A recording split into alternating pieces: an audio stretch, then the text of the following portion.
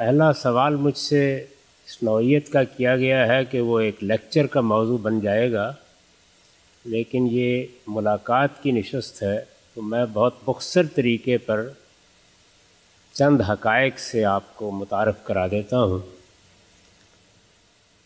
अल्लाह ताला ने कुरान मजीद में ये बताया है कि इंसान दो चीज़ों का मजमूआ है।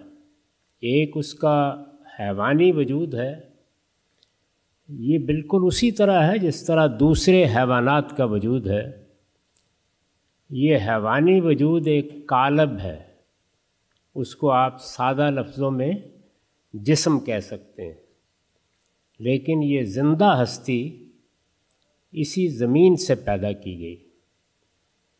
और कुरान ने ये बात भी वाज कर दी है कि समंदरों के किनारे जो दलदल सी बन जाती है, वहाँ से इब्तदा हुई और फिर कई सदियों के मराहल से गुज़रने के बाद वो हैवानी वजूद पाया तकमील को पहुँचा। कुरान ने एक लफ्ज़ इस्तेमाल किया है कि कई मरहलों में हमने उसका तस्विया किया। जैसे आप एक चीज़ बनाते हैं तो पहले उसको आप एक सूरत दे देते हैं और फिर आहिस्ता आहिस्ता उसकी तज़ीन करते हैं। जैसे घर बनाते हैं तो एक ग्रे स्ट्रक्चर खड़ा हो जाता है। उसके बाद आप उसमें कहीं पत्थर लगा रहे हैं और कहीं कालीन बिछा रहे हैं। तो अल्लाह ताला ने ये बताया है कि मैंने इंसान के हैवानी वजूद को भी इसी तरह बनाया और फिर उसका तस्विया किया, यानी उसे हर लिहाज से बिल्कुल दुरुस्त कर दिया। जब वो इस मरहले तक पहुँच गया तो फिर सूरह सजदा में ये फरमाया है कि आसमान से उसकी शख्सियत उसके अंदर इल्हाम की। इस तरह इंसान अपने जिस्म या अपने कालब के लिहाज से एक ज़मीनी हस्ती है और उसी तरह बना है जिस तरह के दूसरे जानवर पैदा हुए हैं। लेकिन इंसानों की जो नस्ल उस वक्त मौजूद थी और उसके हैवानी वजूद के बेशुमार नमूने पैदा हो चुके थे, उनमें से दो का इंतखब करके उन्हें इंसानी शख्सियत दी गई। तो इन्हीं को कुरान मजीद ने आदम व हवा की हैसियत से मुतारफ़ कराया है। हवा का नाम तो कुरान में नहीं आया, लेकिन उनकी शख्सियत का तारफ़ कुरान ने करा दिया है। तो ये आदम व हवा हैं जिनको पहली मरतबा इंसानी शख्सियत दी गई और अल्लाह ताला ने उनको पैगंबरी के मनसब पर फायज किया। आदम इस्लाम को ना सिर्फ़ ये कि इंसानी शरफ़ हासिल हुआ, बल्कि अल्लाह ताला ने अपनी वही उन पर नाजिल की और उन्हें पैगंबर बनाया।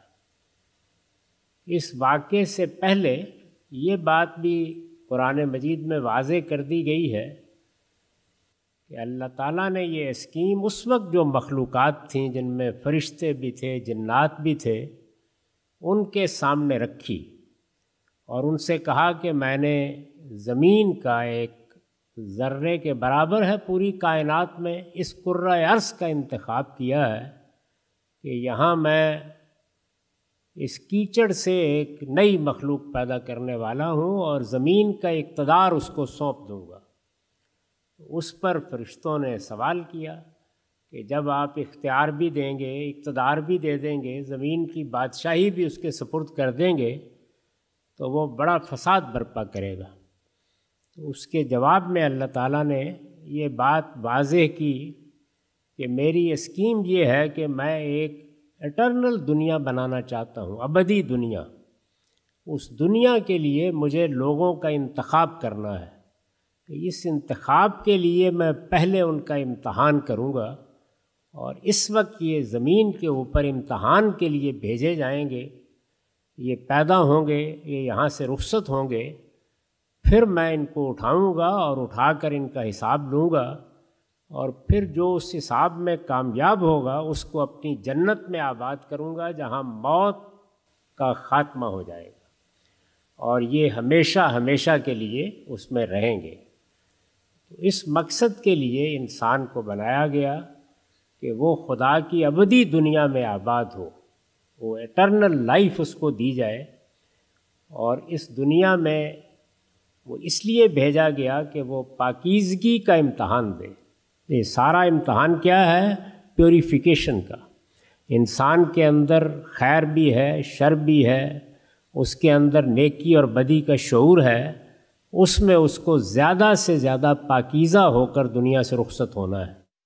तो जो इस पाकिजगी में जितना बड़ा मकाम पाएगा, जितनी ज़्यादा तरक्की करेगा, उसके लिहाज से जन्नत में उसके लिए मरातब हैं।